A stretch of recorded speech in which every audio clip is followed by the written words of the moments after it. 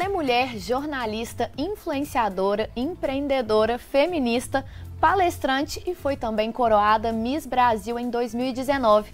Estamos falando da mineirinha e juiz forana Júlia Horta, que aceitou o convite para conversar com a gente nesse programa especial de um mês então, seja muito bem-vinda, Júlia. Um prazer te receber aqui hoje nessa data tão importante pra gente. Obrigada. Assim, tô muito feliz de estar com vocês também. Parabéns, né, em primeiro lugar. E, gente, que apresentação maravilhosa foi essa, amei. que bom, então começamos bem. E pra gente começar o nosso bate-papo, em seus discursos, né, é, nos concursos de beleza, você sempre trouxe coisas ligadas ao movimento feminista. Inclusive, no Miss Brasil B-Motion, você citou os termos sororidade, empoderamento, afirmando então o desejo de ser vista como uma embaixadora da luta pelo direito das mulheres. Qual então é a importância dessa bandeira para você? Eu acho que a partir do momento que você nasce mulher, essa bandeira é importante, né? Porque acredito que a gente entende o que a gente vivencia nos dias de hoje. Eu falo que é importante para mim porque eu acho que a gente tem muito a agradecer às mulheres que vieram antes da gente e que já abriram caminhos em diversas áreas e muitas possibilidades, né? Já conquistaram muitos direitos pela gente. Mas ainda me entristece muito ver o que eu passo diariamente em coisas pequenas, simples do dia a dia e muito que eu vejo outras mulheres passando. Então, a partir do momento que eu, como mulher, ganhei visibilidade, oportunidade de falar para muita gente, eu falei, eu não quero falar só por mim, eu quero dividir esse espaço. Então, por isso é tão importante para mim. E como que você vê essa questão refletida nos concursos de beleza? Você acredita que está havendo aí uma, uma diversidade maior, uma quebra de padrões existindo, ou isso ainda está ficando muito na teoria? Eu sempre falo que eu sonho o dia que a gente vai ver realmente total diversidade nos concursos de beleza. A gente ainda tem muito a caminhar, mas eu vejo que cada ano que passa a gente abre portas também para outros temas serem discutidos, todos os tipos de mulheres participarem. Então eu quero que a gente chegue lá. A gente está no caminho, eu acho que os concursos de beleza eles acompanham, querendo ou não, as discussões da sociedade, a evolução da sociedade, né? A gente vê que hoje realmente não é só um concurso de beleza, a gente vê assuntos muito importantes sendo debatidos, né? Que é uma grande grande plataforma, eu sempre falo isso, mas eu acho que é um caminho, a gente ainda não chegou no final desse caminho. Aproveitando que você falou desse sonho da diversidade nesses concursos, o Brasil é reconhecido pela beleza e diversidade, né? Nosso povo aí é reflexo da miscigenação que garantiu uma gama aí de características físicas, sendo a beleza então algo plural pra gente. Por isso eu quero saber o que é beleza para você. Eu sempre falo assim que um clichê que me representa muito é esse de que a beleza vem de dentro. Porque eu acredito que se você não tem um interior bonito, é só aparência. E a aparência, né, a gente pode perder ela de um dia para o outro, então não faz sentido nenhum.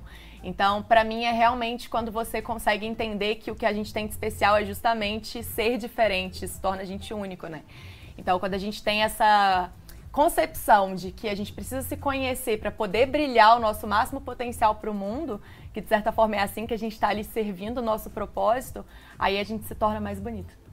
Muito bom. Eu, eu, uma coisa eu acho que, que eu penso muito sobre essa questão de que hoje em dia nas redes, a gente tem as redes sociais, né? E tem dois lados nisso. Por um lado é aquela questão que a gente sempre fala sobre essa, né, é, idealização das coisas, que às vezes a gente tem, né, uma ideia de que a vida da outra pessoa é perfeita nas redes sociais. Tem algumas pessoas que realmente usam as redes sociais de uma forma é, e acabam ganhando espaço nas redes sociais, né, de uma forma que não é muito positiva, que elas acabam criando uma, um, um padrão, um ideal que as outras pessoas não conseguem seguir e não mostram mostram as dificuldades e o lado o lado ruim. Mas por outro lado, existem muitas pessoas que usam esse espaço nas redes sociais, né? Essa mídia, esse essa plataforma que está crescendo para trazer mensagens e para mostrar essa questão da beleza interior. Eu acho que, que para mim, pelo menos, eu gosto de acompanhar pessoas que mostram esse lado de que tem ali por trás alguma coisa, né? Seja porque está mostrando o dia a dia e, e, demonstra sua personalidade, se expressa sua personalidade, aquela é uma personalidade que, né, que, que esbanja a beleza interior, e seja por ser por uma mensagem positiva, por sempre usar essa plataforma por isso. Então eu acho que gente, é bom a gente ver o lado bom dessas coisas também, porque a gente fala muito sobre o lado ruim das redes sociais, às vezes, nas, né, nas conversas e tal. E é bom a gente ver esse lado que existe também isso e que é importante a gente saber que existem pessoas que estão usando esse espaço. Eu acho que você, claro, é uma delas que usa esse espaço tão bem para mandar uma mensagem positiva para as pessoas, né? Obrigada. E olha só, entrando nesse assunto, né? A boa comunicação, né, pode se transformar em uma importante ferramenta social. E você tem uma grande visibilidade, visibilidade nas redes sociais. E aí, você, obviamente, fala de vários temas. Quais são os principais temas que te norteiam nesse seu conteúdo que você produz para a internet? Olha, eu concordo totalmente com isso que você falou. E eu sempre brinco quando as pessoas pedem para me apresentar, e a gente sempre fala um pouco do que a gente faz quando a gente se apresenta, né? E eu sempre falo que eu sou comunicadora por paixão e profissão, porque desde que eu me entendo por gente que eu amo falar, e eu acho que muito porque eu sou apaixonada pelas pessoas. Então, para mim, a rede social é um espaço de conexão, sabe? Eu nunca enxerguei ali como números, como estou falando para sei lá quantas mil pessoas. Sempre era, tem pessoas me escutando, tem pessoas que querem querem ouvir o que eu tenho para falar e que eu posso trocar, que também tem coisa para me ensinar. Então, hoje eu falo muito sobre coisas que eu vivo, assim. Então, eu falo sobre autoconhecimento, eu falo sobre o meu estilo de vida cheio de energia e saudável, que é algo que me move. Eu falo sobre espiritualidade um pouco, sobre comunicação, rede social. Enfim, é um mix de tudo que a Júlia, de, de, que a Júlia é feita, sabe? Porque isso também é uma coisa que eu sempre falo por lá. É, a gente é feita de várias versões. Então, eu abraço todas essas versões e tento compartilhar um pouquinho. Maravilhoso. E esses temas também estão presentes no seu canal do YouTube, né? Que tem aí conteúdos diversos, desde seu relacionamento com o Matheus até indicação de séries, então realmente é bem amplo, né? E você é uma comunicadora nata, fazendo jus aí também ao diploma, diploma de jornalista. Qual que é a importância da comunicação na sua vida e na sua carreira, né, de incentivadora digital, até para se posicionar também nesses temas que você traz, seja no seu canal no YouTube, seja na sua conta do Instagram, enfim. Eu sempre falo que comunicação é tudo, né? Eu já comecei a falar um pouquinho disso na, na, pergunta anterior, mas é que eu acredito que a comunicação, quando ela vem de uma forma amorosa, sabe?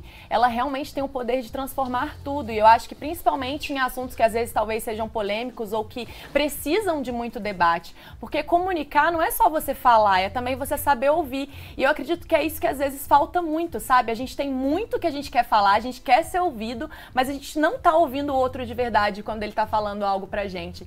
Então, para mim, a comunicação tem esse papel, sabe? Eu acho que a gente consegue chegar mais longe, conquistar um público maior, agora falando de rede social, quando a gente de verdade está aberto para essa troca. Porque senão você está falando para quê? Sabe? Qual é o objetivo de você estar tá ali fazendo um story, postando alguma coisa, se não for para ouvir também o retorno do outro lado, se não for para de fato haver uma troca? Sim, porque senão fica um monólogo, né? E isso a gente realmente vê bastante e tá faltando os diálogos acontecerem mesmo. Enquanto você estava falando, a gente está passando aqui, né, partes aí dos seus vídeos, enfim, e que fica então também o convite para o pessoal de casa acompanhar, né? Sim, com certeza. e Júlia, você iniciou a sua participação em concursos de beleza em 2015, né? Quando você venceu o Miss Mundo Minas Gerais. O que, que te motivou a entrar né, nesse universo? Era algo que você sempre quis? Foi algo que veio de repente? Totalmente de repente. Na verdade, é porque eu sou Mariana, bem ariana, então eu amo um desafio. Quando o desafio acaba, eu já procuro outro, entendeu? E aí eu tava fazendo faculdade de jornalismo e naquela época eu tava meio sem saber qual rumo eu ia tomar depois. Se eu ia pra TV, se eu queria rádio, se eu queria impresso, enfim, tava nessa fase meio perdida. E naquela época também tava já pensando no meu TCC e eu queria falar sobre influência digital, então eu tava muito antenada nisso. E eu falei, poxa, é, sempre tive vários blogs e tal. Eu falei, eu queria tanto trabalhar com isso também, de, de ter um conteúdo na internet, eu tava pensando em formas de, de começar, assim. E aí surgiu esse convite, eu falei, poxa, isso é legal, porque vai me dar uma certa visibilidade, eu vou poder conhecer algo novo e compartilhar com as pessoas. E eu fui meio que nessa, assim, eu assistia já concurso de beleza, para mim era muito distante da minha realidade, então eu já tinha um gosto, mas eu não acreditava que era possível. E aí faltavam 20 dias para esse primeiro concurso, quando eu recebi o concurso, 20 e poucos dias. Eu falei, gente, será que dá mesmo, né? Eu me preparar, eu não sei nem direito como que faz e tal. Só que eu aceitei. E aí, o primeiro concurso que eu participei, eu ganhei. E daí, isso foi assim: opa, talvez tenha uma história a ser construída aqui, vamos ver no que que dá. E aí, quanto mais eu fui entendendo o que que eram os concursos de beleza, o que que eu podia fazer dentro desse universo, eu falei: é, eu gosto, quero continuar. Muito legal. Bom demais. Júlia, ó, nosso bate-papo tá só começando. No próximo bloco tem mais conversas, mais perguntas para você. E você aí de casa não sai porque a gente vai para um rápido intervalo. Mas antes, vamos conferir as fotos que o pessoal de casa mandou pra gente assistindo ao Manhã Diversa nesse primeiro mês de programa.